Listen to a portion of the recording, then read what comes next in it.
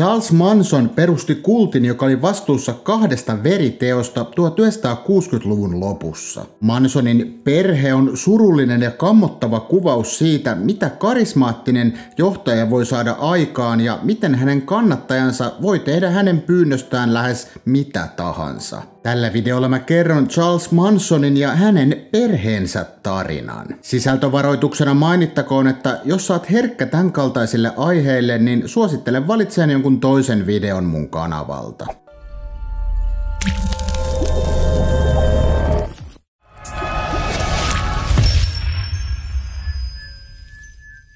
Moikka, mun nimi on Petteri. Tykkäätkö sä kuunnella tai katsella True Crime-sisältöä iltaisin ennen nukkumaan menoa? Mä itse harrastan tätä silloin tällöin ja aika usein nämä tapaukset sitten tulee valitettavasti uniin. Mä oon tehnyt tänne kanavalle aikaisemminkin True Crime-sisältöä. Mä luulen, että sua saattaisi kiinnostaa video Golden State Killeristä tai meitä suomalaisittain kiinnostavasta aiheesta Raisa Räisäsen katoamisesta. Linkit molempiin videoihin löytyy tuolta kuvauskentästä ja siellä on myös tämän videon lähteet ja timestampit. Charles Mansonin lapsuutta ja nuoruutta värittivät päihteet ja rikokset ja näistä nuoruuden vuosista saisi jo ihan oman videonsa. Charles Manson syntyi 12. päivä marraskuuta 1934. Hänen äitinsä Kathleen Maddox oli tuolloin vasta 16-vuotias ja nautti runsaasti alkoholia. Hän rahoitti päihteiden käyttöään myymällä itseään. Charlesin isä oli 24-vuotias satunnainen työläinen, joka tunnetaan nimellä Eversti Scott. Kyseessä oli siis täysin merkityksetön satunnaissuhde. Tämä mies oli hävinnyt jo siinä vaiheessa kuvioista, kun Kathleen sai tietää, että hän on raskaana. Lähtökohdat Charles Mansonin elämään oli siis suurin piirtein kaikista pahimmat mahdolliset. Kathleenillä ei ollut mitään kykyjä hoitaa pientä lastaan ja jätti hänet usein milloin mihinkin, kun hän meni omiin menoihinsa. Charles on sitten myöhemmin kertonut esimerkiksi tämmöistä tapauksesta, kun hän meni äitinsä kanssa baariin ja tämä baarimikko oli voivotellut hänen omaa lapsettomuuttaan, niin Kathleen oli sitten sanonut, että yhden tuopin hinnalla niin saat tämän lapsen tästä. Juotuaan tuon tuopin, niin Kathleen oli vain yksinkertaisesti kävellyt pois ja jättänyt nuoren Charlesin sinne. Lopulta Charlesin sedällä kulu neljä päivää selvittää, missä poika on. Kun Charles oli kuuden vuoden ikäinen, niin Kathleen yritti ryöstää Charlesin sedän kanssa läheisen huoltoaseman. Molemmat jäivät kiinni ja nuori Charles annettiin hänen isovanhemmilleen, jotka oli oli tiukasti uskonnollisia Täällä Charles ei kuitenkaan kovinkaan pitkään viihtynyt. Muutaman kuukauden kuluttua hän muutti asumaan tätinsä ja toisen setänsä luokse Länsi-Virginiaan. Täällä nuori Charles eli hyvin erilaista elämää. Hänen tätinsä ja setänsä elivät uskonnollista ja hyvin kurinalaista elämää, johon Charlesin oli myös nyt sopeuduttava. Tämä sujuikin verrattain hyvin ja seuraavat kaksi vuotta oli ehkä vakainta aikaa Charlesin elämässä. Lopulta kuitenkin Kuitenkin Kathleen vapautui vankilasta ja Charles muutti hänen luokseen asumaan. Kathleen ei ollut muuttunut mihinkään päinvastoin. He elivät irtolaiselämää ja muuttivat jatkuvasti ympäri Yhdysvaltojen keskilänttä. Yhdeksänvuotiaana Charles jätti koulunsa kesken. Koska Charles eli tämmöistä kiertolaiselämää, niin hänelle ei muodostunut mitään kunnollisia ihmissuhteita. Hän oppi pakenemaan omaan mielikuvitusmaailmaansa ja haaveili elämästä ilman toivotonta äitiään. Hän oli myös oppinut taitavaksi varkaaksi ja jäikin kiinni vasta yhdeksänvuotiaana varastamisesta. Kun Charles oli 13-vuotias, niin hänen äitinsä Kathleen oli jo todella pahasti alkoholisoitunut. Hän yritti antaa Charlesin sijaisvanhemmille kasvatettavaksi, mutta sellaisia ei kuitenkaan löytynyt. Niinpä Charles päätyi Indianassa sijaitsevaan Kibauttin poikakotiin. Poikakodissa hän viihtyi noin vuoden verran, kunnes karkasi ja palasi takaisin äitinsä luokse vain todetakseen, että Kathleen ei haluaisi elää tämän teinipojan kanssa. Charles päätyi asumaan kaduilla ja elätti itseään rikosten avulla. Pikkuhiljaa rikokset ja sitä myötä myös tuomiot kovenivat. Vuonna 1951 Charles Manson joutui osavaltion vankilaan useiden pidätysten ja pakojen jälkeen. Hänet saatiin lopulta kiinni siinä vaiheessa, kun hän oli ajamassa varastetulla autolla toiseen osavaltioon. Tältä vankilareissulta hän vapautui 1954.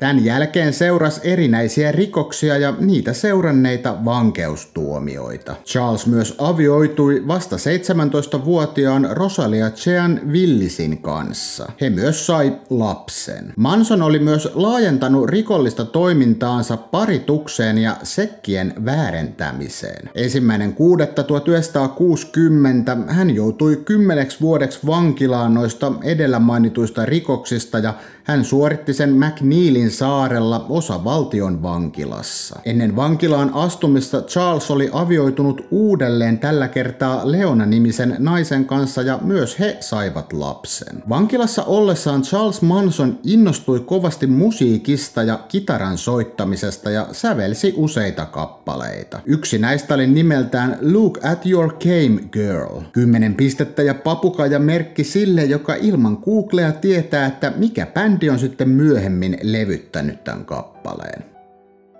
On vuosi 1967 ja Mansonin istuessa vankilassa maailma oli kovasti muuttunut ja hippiliike levisi ympäri Yhdysvaltoja. Manson oli tässä vaiheessa istunut 10 vuoden tuomiostaan seitsemän vuotta ja nyt häntä oltiin hyvän käytöksen perusteella vapauttamassa vankilasta. Ne henkilöt, jotka tämän päätöksen teki, että Charles Manson vapautetaan, ei varmaan tienneet sitä, että hän tulisi terrorisoimaan jenkkejä seuraavan kahden vuoden vuoden ajan. Kun vartija tuli vapauttaa Mansonia, niin tämä ilmoitti, että ei hän halua lähteä mihinkään, koska vankila on hänen ainoa kotinsa. No Mansonin ei tietenkään annettu jäädä vankilaan ja hänet pistettiin pihalle 32-vuotiaana 35 dollaria taskussaan ja rakas kitara olallaan. Charles Mansonin mielestä koko maailma näytti erilaiselta ja hippikulttuuri oli hänelle täysin vierasta, joskin hän imeytyi siihen mukaan melko nopeasti. Tähän kuului tietysti tietysti psykedeelien, etenkin LSDn nappailuja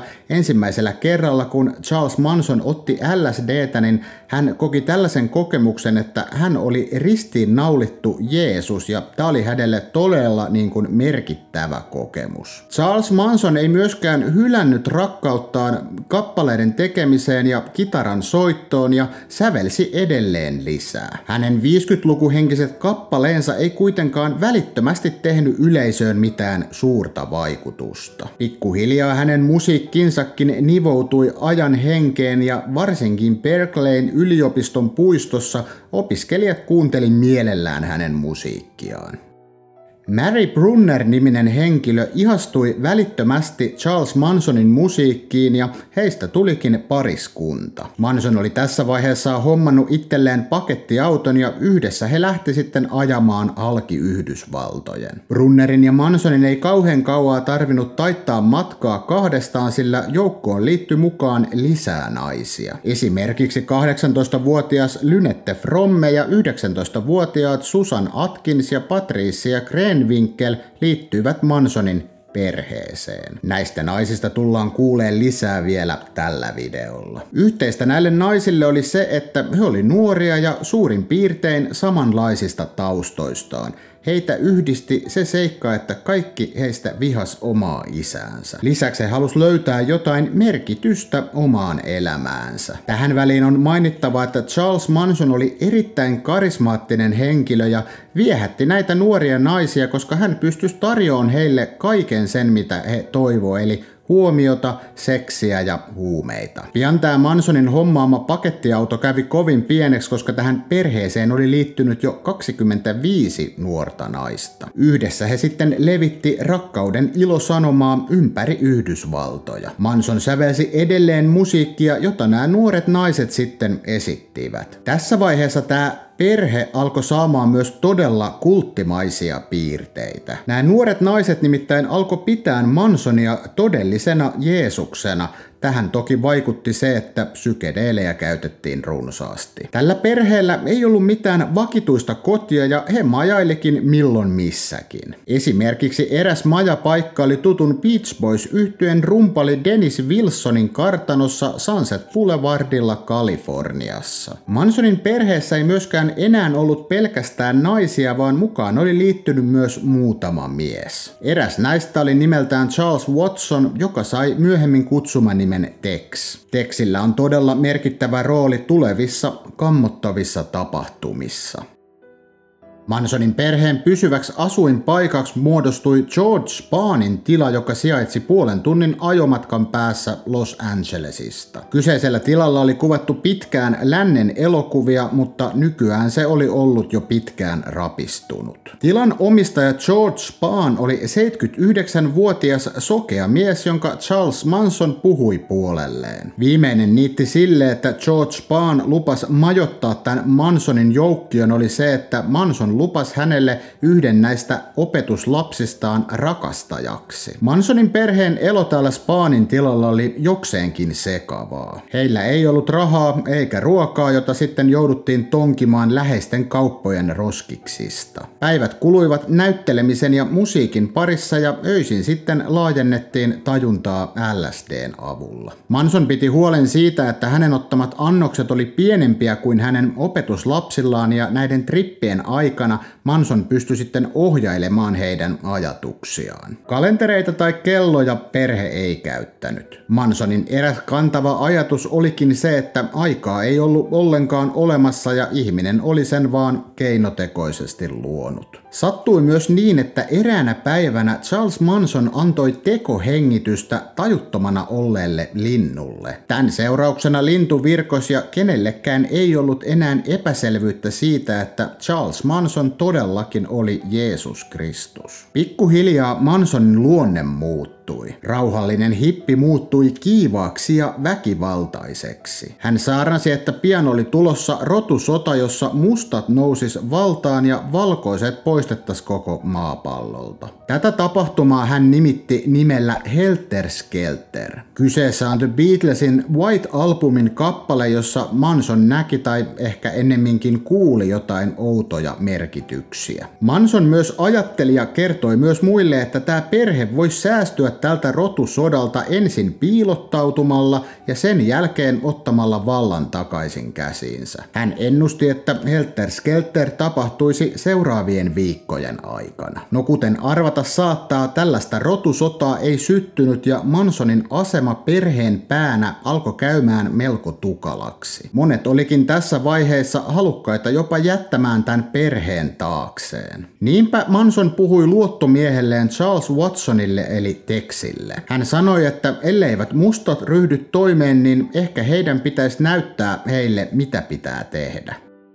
Manson oli aikaisemmin keväällä kävellyt osoitteen 10050 Cielo Drivessä sijaitsevan talon läheisyydessä. Tässä talossa oli aikaisemmin asunut musiikkituottaja Terry Meltzer, joka kuitenkin nyt oli muuttanut pois. Nykyään talo oli vuokrattuna elokuvaohjaajalle Roman Polanskille ja hänen näyttelijätär vaimolleen Saron Tatelle, joka oli tuolloin kahdeksannella kuulla raskaana. Polanski on ohjannut monia merkittäviä elokuvia elokuvia. Esimerkiksi elokuva Pianisti on sellainen, mistä Polanski sai parhaan ohjauksen Oscar-palkinnon. Vaikka tuottaja Meltzer ei siis enää asunutkaan tässä talossa, niin Manson päätti siltikin toteuttaa Helter-skelterinsä. Hän etsi Texin käsiinsä ja pyysi häneltä palvelusta. Tex sanoi, että aivan mitä tahansa. No pyyntö ei ollut mikään kamalan kevyt. Manson nimittäin halusi, että Tex ja muutama muu naispuolinen jäsen menisi tonne Polanskin talolle paikalle ja murhais kaikki siellä olevat ihmiset. Pyyntöön sisältyi myös se, että teko pitäisi tehdä mahdollisimman raalla tavalla. Lisäksi seinille piti kirjoittaa iskulauseita, kuten senkin sijat kumous ja helterskelter. Näiden tarkoituksena oli saada näyttämään murha sellaiselta, että tumma-ihoiset olisi sen tehnyt. Eksin lisäksi matkaan lähtivät jo videon alkupuolella mainitut Susan Atkins ja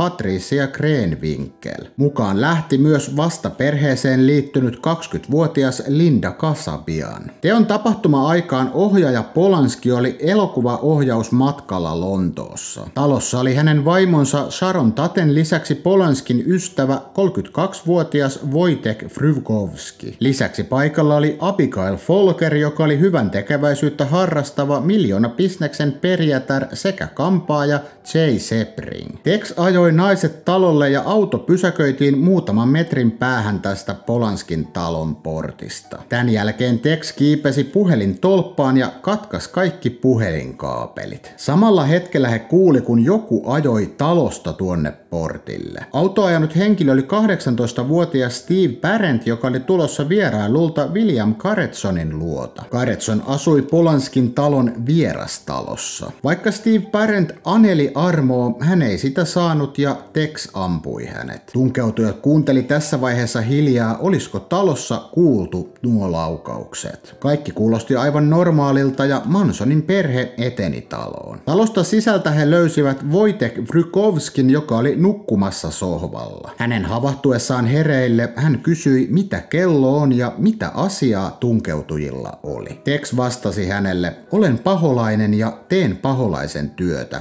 anna minulle kaikki rahasi. Samaan aikaan naiset sitten etsi kolme muuta talossa ollutta henkilöä. Erinäisten tapahtumien jälkeen Mansonin perheen jäsenet murhas kaikki tuolla talossa olleet ihmiset. Frykovski oli kuitenkin onnistunut pakenemaan pihalle, mutta jäi siellä kuitenkin kiinni ja menetti henkensä. Tämän jälkeen murhaajat alkoi sitten kirjoitteleen seinille noita Mansonin iskulauseita. Etuoveen he kirjoitti suurilla kirjaimilla sika. Tunteja myöhemmin myöhemmin, kun nämä murhaajat palas takaisin sinne Spaanin tilalle, niin Manson kysyi heiltä, että kadutteko te viime yötä. Kaikki pudistivat päätään. Jo samaisen päivän iltana Manson lähetti matkaan uuden iskuryhmän ja lähti tällä kertaa myös itse mukaan. Näin hän pystyi varmistamaan, että kaikki tapahtui hänen suunnitelmiensa mukaisesti. Tällä kertaa Mansonilla ei ollut mielessään mitään tiettyä kohdetta ja he ajeli ihan sattumanvaraisesti. Lopulta hän pysäytti auton 3301 Waverly Driven eteen. Asunnon ovessa luki Leno ja Rosemary LaPlanck paikkaan. Manson meni itse ensimmäisenä asuntoon. Hän käski keski-ikäisen pariskunnan istumaan sohvalle ja rauhoitteli heitä, että tämä oli ihan pelkkä ryöstö ja kyse oli vain rahasta. Tämän jälkeen hän sitoi heidät ja palasi takaisin autolle. Autossa hän antoi Teksille ja kahdelle muulle mukana olleelle ohjeet siitä, miten tuolla talossa pitäisi toimia. Mansonin itse ajaessa autolla pois Leno ja Rosemary LaPlancca murhat kirjoitettiin. Myös nyt näille seinille kirjoitettiin tekstejä kuten Kuolema sijoille ja Helter Skelter.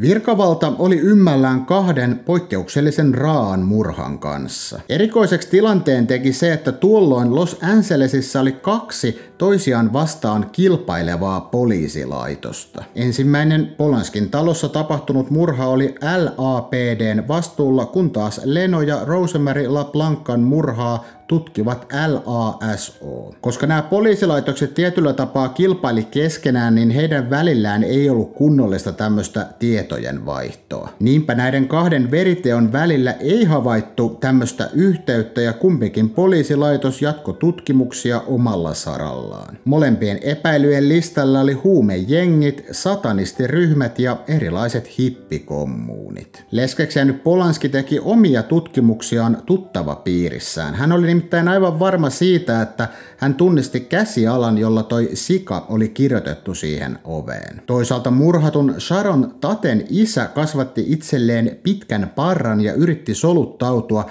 paikallisiin hippikommuuneihin. Viikot kului eikä murhaajaa löytynyt ja paikalliset oli totta kai turhautuneita ja kauhuissaan. Mansonin perheen jäsenille poliisien hapuileva murhatutkimus oli huvittavaa katsottavaa. Joten videon aikaisemmassa vaiheessa mä mainitsin, että perheellä ei juuri ollut rahaa käytössään. He oli jo pitkään varastellut autoja ja ryöstänyt läheisiä kauppoja kauppoja. Lopulta nämä ryöstöretket koitui heidän kohtalokseen ja poliisi pääsi, joskin hieman välikäden kautta, heidän jäljilleen. Ratkaisevaan asemaan nousi Susan Atkins, joka oli vankilassa epäiltynä huumekauppiaan murhasta. Vankilassa ollessaan hän sai hieman epäilyttävän maineen, sillä hän lauloi ja hihitteli ja tanssi kaiket päivät pitkät. Niinpä muut mangit alkoi kutsua häntä nimellä Hullu Susan. Eräs vangeista Virginia Graham sääli Susania ja alkoi jutteleen hänen kanssaan. Susan ilkkui hänelle, että poliisi oli täysin hakoteillä näiden kahden murhatapauksen kanssa. Hetken päästä Susan kertoi, että hän oli näiden murhien takana. Seuraavien päivien aikana Susan myös kertoi kaiken perheestään ja tulevasta rotusodasta. Virginia kävi kamppailua itsensä kanssa, että kertoisiko hän näistä asioista poliisille. Lopulta kun Susan kertoi, ketä oli murhalistalla seuraavaksi, niin Virginia päätti kertoa. Kun tapaus oli tullut poliisien tietoon, Manson ja kumppanit vangittiin.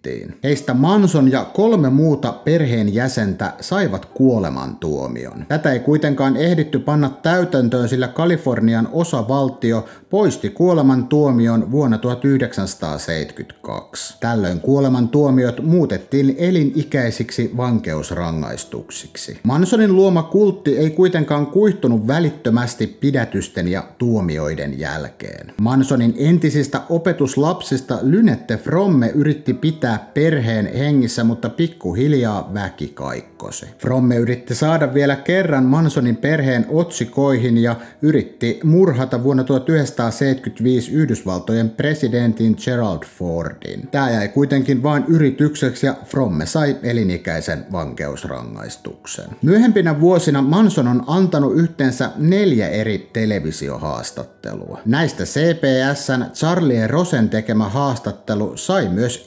Emmy-palkinnon. Manson kuoli Bakersfieldin sairaalassa 19. päivä marraskuuta 2017 luonnollisiin syihin. Mä valkkasin sulle tähän kaksi videoa, josta sä aivan varmasti pidät. Me nähdään tietysti taas uuden ja totta kai mielenkiintoisen videon parissa. Se on moi.